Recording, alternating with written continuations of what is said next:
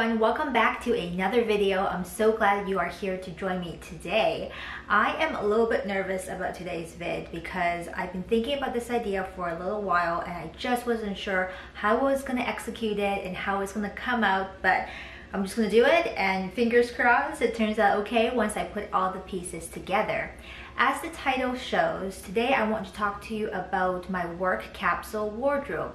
Now the whole idea of a capsule wardrobe has been around now for quite a while I would say. It had this kind of peak, it was really popular for a while, and I think it's really settled in into those whom it works for and those who've tried it and be like, uh-uh, not my thing. And I used to be part of that camp totally. I had a lot of different varieties of clothes and I like the mixing and matching. Although I will say kind of what spurred on this work capsule wardrobe idea kind of came a little bit out of this COVID quarantine where I was just wearing the same thing over and over again. I've always been one who had outside clothes, inside clothes, and then pajamas. I talk about this sometimes that my clothes fall into one of three categories. I change my clothes when I get home, so my work clothes are often just the ones I wear you know, outside or out to work. Sometimes they're interchangeable. Recently, I decided to try out the idea of just doing a very small capsule work wardrobe. So I picked out a couple of, you know, top and bottom separate pieces and put it in one section of my closet and that was the work section. Some of these clothes could also be worn outside, you know, on the weekends or out of work, but I just kind of dedicated that section to work and I thought, let's give it a month, let's see how it goes. So I wore six pieces except shoes and outerwear and any like accessories, but six core pieces for pretty much all of September and I am now here to talk to you about it. So let me run you through the six items I end up choosing and then I'll kick it over to voiceover Jerry who will show you and talk you through all of the outfit combinations. All right, let me talk you through all the separate items that I had chosen. I will say my intros for the future will not be so long. I just realized I talked a lot just to explain to you what this whole idea was about. Anyway, separates. I chose three tops and three bottoms for a mix and match um, type of situation, not inclusive of shoes and not inclusive of jackets or coats or raincoats or accessories. These are just my six core items. A lot of these are actually repeats of the same style, but I've picked, you know, two different colors just to give me some color variety. Let's start with tops. My first top is one from Halogen by Nordstrom in their petite sizing. I was really drawn to this top because at the time, not a lot of places did petites and when Nordy's first opened up, I was all over it. Even though our selection was pretty small and pretty slim, I was kind of drawn to this top and thought it was something different. This is a polyester shell with a back loop opening. There's no zippers. You can get on over your head and button yourself up nice and easy. The detailing for this is definitely that armpit ruffle. It feels a little bit I don't know, I, I couldn't decide if I loved it or hated it, but I didn't mind it, so I got it. And I didn't actually wear it that much because it always felt really dressy. So I threw it into the work wardrobe capsule and I think it actually worked really well. That is my only pattern top for September. The next two tops are actually exactly the same, just in two different colorways. I like to see this as my t-shirts, but a little dressier. In September, it was still fairly warm and many days I could have gone without any toppers or cardigans or coats and just have like a simple top and be totally okay in terms of temperature regulation. So I chose two of these t-shirts. I like to call them like a flutter sleeve t-shirt. The whole sleeve is actually a separate um, piece and it has that ruffly look and extends into the bodice. I find it generally pretty flattering and I actually have in three colors. I pulled the navy and the coral to be part of my topper collection. Now let's talk bottoms. I chose three bottoms like I mentioned and two of them are wide leg and one is a skinny leg just for variety and to give me more options in my shoes which in the end was a really smart idea. Let's talk about uh, the two wide leg first. They're both from Uniqlo again. They're just a great piece for workwear, you guys. And these, I will say, my only kind of mm, with them is that they are still a bit too long for me. I went with the extra small. In terms of my measurements, I probably would have done the small instead of the extra small, but the extra small though is a little shorter. If you look at their sizing chart, um, extra small and XX small are for people about 5'3", and from small and beyond, the leg length is actually longer. So because I'm petite, I kind of try to squeeze myself in extra small. It does kind of work. I wish it had belt loops so I can hike it up low with the belt since these pants are already high-waisted. So on me, they are uber high-waisted. But I love how they're so flowy and just offer me a lot of ease of movement. So I chose it in both the brown and also the forest green, which I love that forest green, so pretty. Next, I did choose a skinny pant just for some options and that is my only patterned pant. It is a polka dot navy pant from Old Navy and I believe they're calling it a high-waisted super skinny pant. It's really like a little pixie pant. It's got an invisible zipper on the side. Um, it's got no waistband but it does have a little bit of elastic. It is very much a skinny leg so you gotta kind of stretch it out and it's definitely not for days that you need to do a lot of like big movements. So those are my six core items. I'm going to kick it over to voiceover Jerry who will talk you through um, the different outfit combinations and really which ones worked out and which ones didn't quite work out. I'll come back at the end and let you know kind of what changes I would make to my next capsule wardrobe for work and um, what things I was really missing.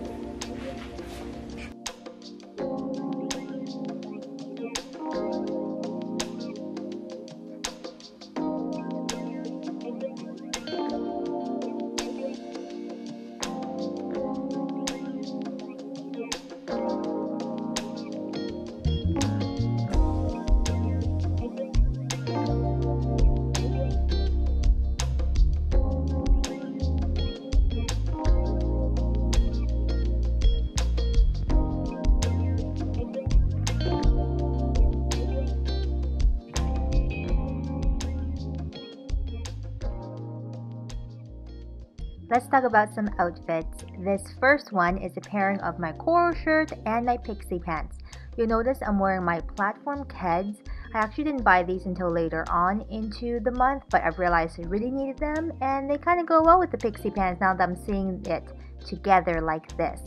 I really like this outfit. It's kind of standard teacher outfit, if you will, with, you know, the skinny pants, but I think the shirt makes it look really interesting. It's still fun, kind of summery, still has that, you know, warm weather vibe, and I did pair it with a necklace just to snazz things up a little. With the length of this shirt, I do usually leave it untucked if I'm wearing just the normal rise kind of pants, and I also didn't love the way the pixie pant looked just bare. Now this outfit does look a little dressier in my opinion and it's completely because of the pants. Notice that these pants are super high rise on me and I decided to tuck in the shirt.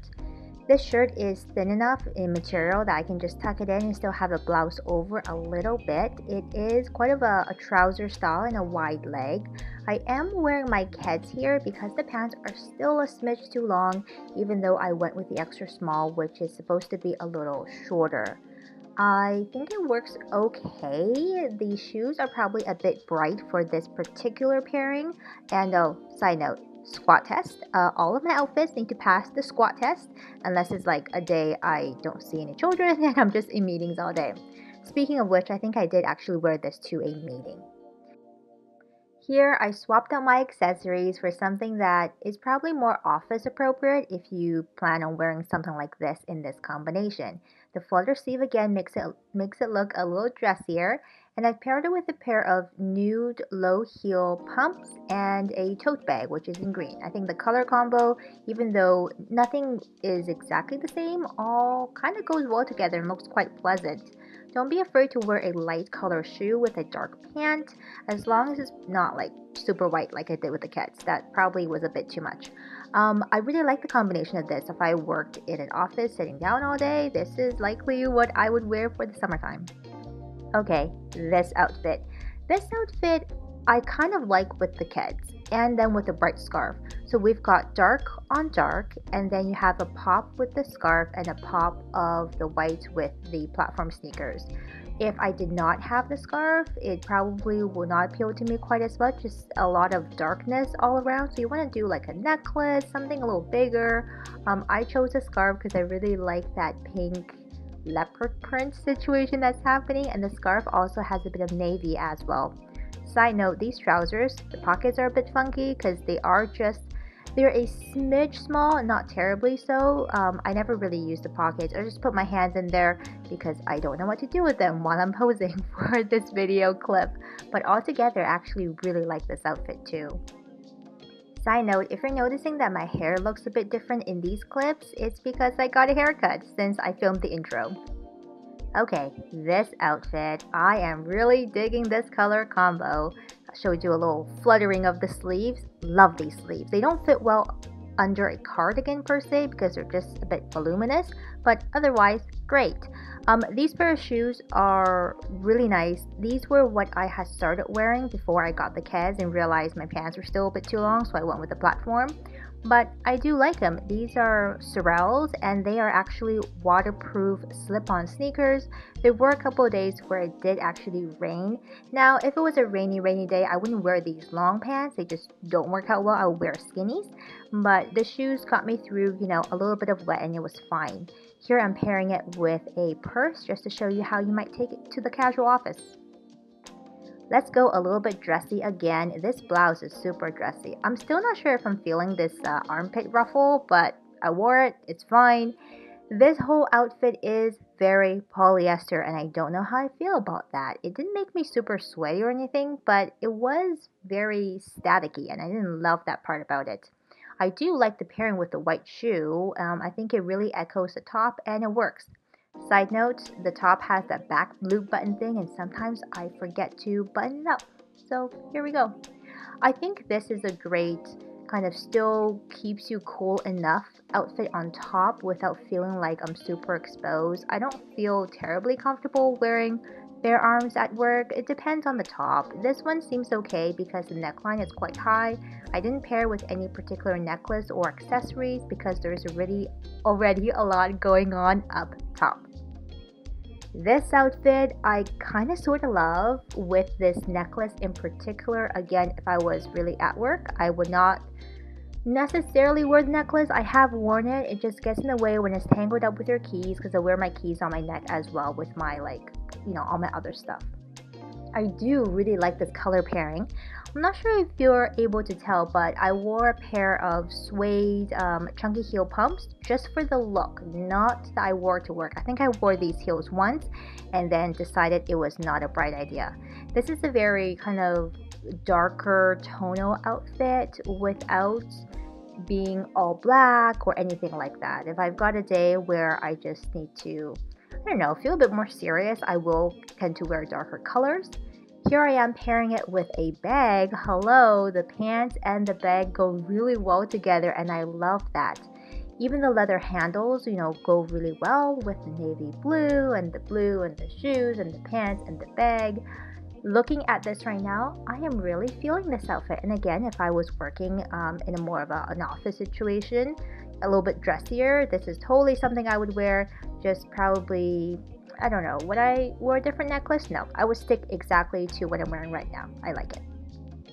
Okay, this is the outfit I filmed. Blue on blue. I love wearing navy, if you can't tell. But um, the camera was not rolling when I was doing all my posing. So no posing outfit, but here are the two items I also wore together quite often. This outfit rocks. I think the colors happening just look really good. Actually, did I say that about every single outfit? Probably. I probably did. Um, you let me know which one is your favorite, but I like the way that the tone's happening over here. When you look at this top, even though it looks super tropical, I think it pulls in, you know, the mauve taupey colored purse really well.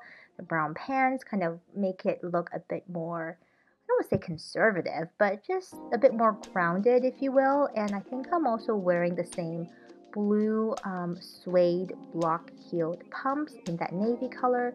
The trim of the top is actually a navy blue with the ruffle, so that really echoes the shoes as well and helps to tie everything together. Now, by this point of filming these clips, I was getting pretty tired of changing outfits. Um, so let's get out of here and talk to real-time Jerry again. In retrospect, I would say I did not account for those couple of days in September where it did rain and then I couldn't get my shoe situation to go with the rest of my outfits. Those Uniqlo wide leg pants were still just a smidge too long. I'm hesitant to hem them shorter as there will be times I want to wear them dressier with a heel and if I shorten them then it would look too short to go with a dressy heel so I'm still in this conundrum of whether to shorten them or not shorten them. What really saved the day for me though are those Ked triple up platform sneakers that I ended up purchasing kind of exclusively for those pants, but I'm sure I will wear with loads of other things as well. The Ked sneakers gave me just enough height to pretend that it's a high heel without having to be on the pitch.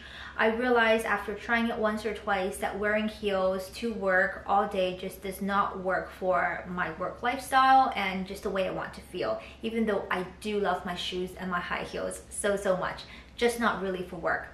And then I needed to wear my Blondo waterproof boots for the days where it did actually rain once or twice. Um, and those pants just didn't work out. But I was really glad I got the Pixie pants into the mix because those can go, if I really needed to, with the boots. Moving into October, I'm just in the process of choosing my separates and we are really getting to the wet season. So the next episode you see will definitely contain a lot of more wet and rain appropriate combinations and maybe even a few sweaters. I'll see you in the next video. I hope you really enjoyed this. Give me a thumbs up. Um, subscribe if you haven't. Hit notifications if you want to keep in the loop of everything and as always I'm pretty much always on social media so if you want to hop on over there to stay engaged and connect with me I'm always happy to see you. Until next time take good care of yourselves and I will see you very soon. Bye.